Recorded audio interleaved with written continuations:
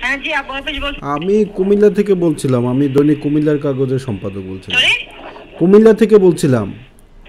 হ্যাঁ আপা আমার আমার একটু জানার দরকার ছিল যে ঘূর্ণিঝড় চিত্রাং এটা তো খেপুপাড়া দিয়ে ঢুকবে। এটার মানে গতিপথ কোন দিকে যাবে?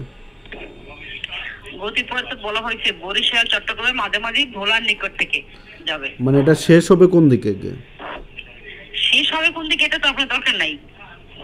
কেন আপা? বরিশাল ভোলার ওখান থেকে হইয়া নোয়াখালী হইয়া সিলেট হইয়া ওই দিক ওদিকে বাড়াই যাবে। কিন্তু ওটা তো শেষ হয়ে তার আগে।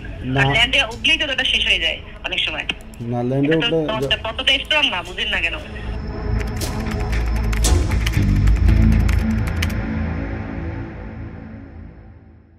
ঘূর্ণিঝড় চিত্রাঙ্গের আঘাতে কুমিল্লায় একই পরিবারের তিনজন নিহত।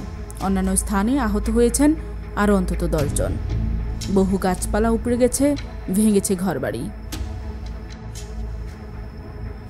কুমিল্লার কাগজ নিউজ ডেস্ক।